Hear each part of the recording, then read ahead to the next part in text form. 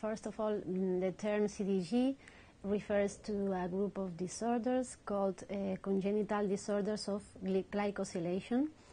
Uh, it includes more than 50 uh, defects, genetic defects, heredit hereditary genetic defects, and uh, aff mostly affects children of all ages. Uh, the severe forms may manifest in the first days of life and uh, the majority of cases in the in the first year.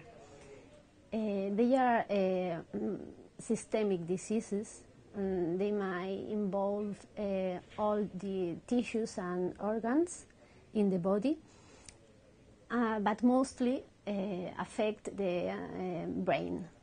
So they um, produce the, um, developmental disorders.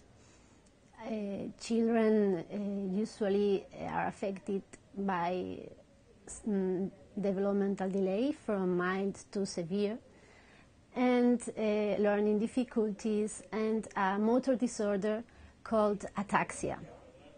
This is due to the fact that congenital disorders of glycosylation are involved in the development of the cerebellum and uh, there is a hypoplasia of the cerebellum that cause the ataxia and the motor abnormalities of these children.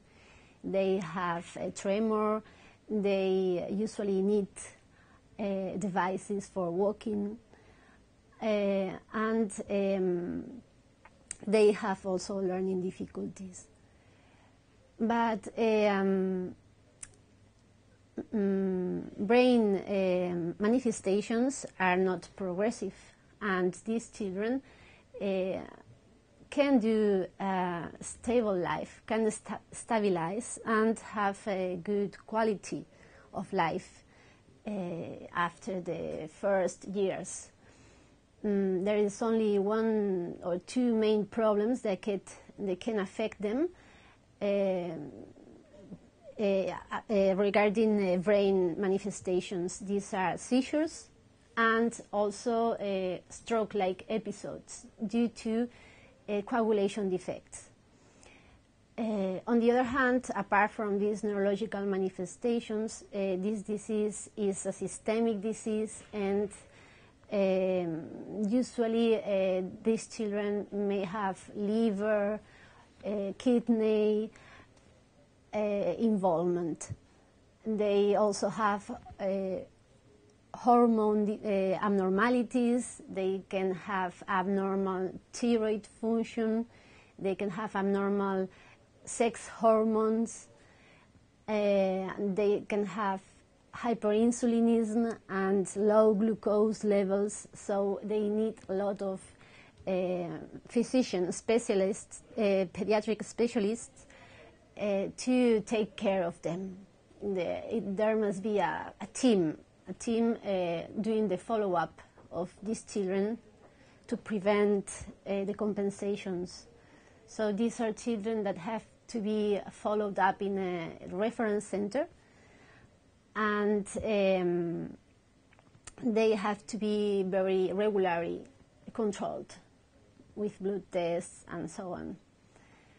And um, life expectancy after the first years of life is quite good. Mortality is mm, quite important in the first year, but after the first year of life, these children can, can do quite well. There are um, very, very mild forms that uh, they that can um, do a good school performance, like the same their DRPs and uh, I have met in the meeting that we had with Dr. Uh, Jaeken uh, a few days ago. We met children from other countries and we could see how the phenotype uh, can be very, very broad and how many children are very, very mildly affected. Um, nowadays, the most important problem that we have is to, to find um, a treatment that can uh, cure the disease. The most common type of defect, the uh, deficiency, which uh, is uh, which affects 90% of children with CDG. We don't have cure for this disease. So we can only uh, give supportive treatment, but we cannot cure them. And um, this is the main goal, you know, to, to find a treatment for these children. And that's why um, many um, research centers are trying to, to find uh, animal, animal models to, to learn more, more about the, the metabolic pathway and to find a, a treatment that can help them.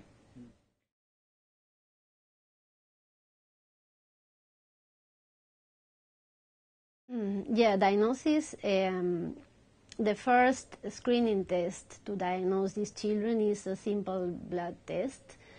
Uh, the, and um, the determination of a, a, protein which is glycosylated and that we can determine in, in blood, which is the sialotransferrin. This uh, transferrin is, uh, has sialic acids, uh, is gly- glycosylation.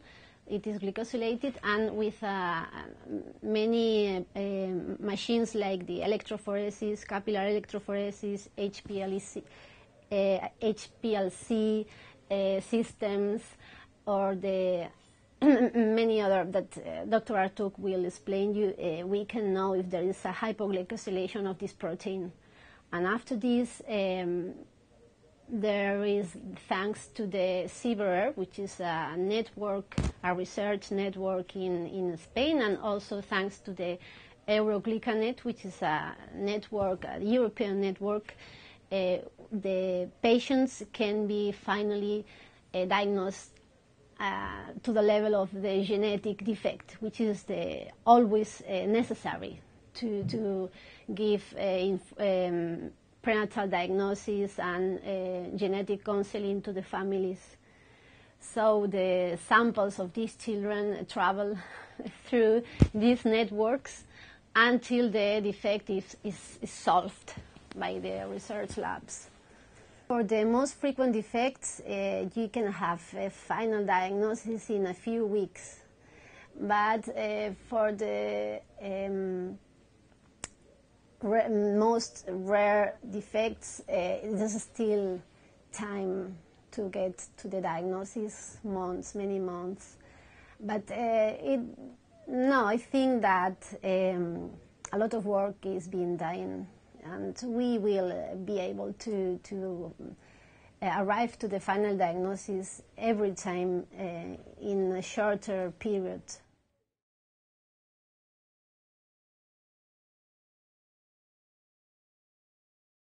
There is only one uh, specific treatment that can uh, prevent the, the, the, evolution of the phenotype in one defect, which is the deficiency of uh, for, uh, is uh, um, EMP, phosphomanoisomerasa, uh, which is a, an enzyme that is is affected in, in this defect, and these children can can take mannose, which is a sugar, a simple sugar. They can take it by mouth uh, many times a day, and uh, this sugar prevents uh, the liver involvement and they, they are cured with this treatment.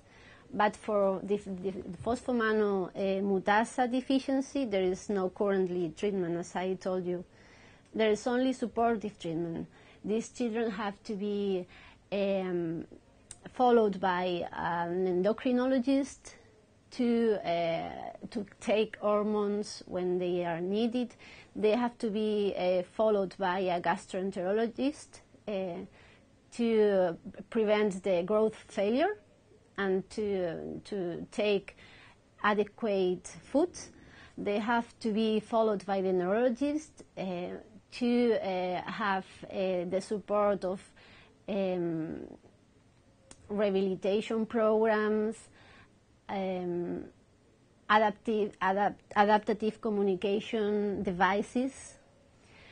Uh, they have to take antiepileptics in case they have seizures, and also they have to take antiaggregants when they have uh, high fever and coagulation defects.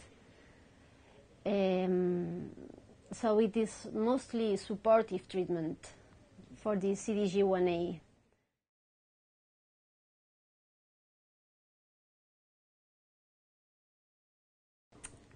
Well, I think that we must be proud of all the research work that has been done in, in the CDG defects because um, thanks to these uh, networks that I told you about, uh, there are a lot of labs interested in, in gly glycoproteins in Europe and United States and also in South America and many parts of the, of the world um, working hard in, in this disorder.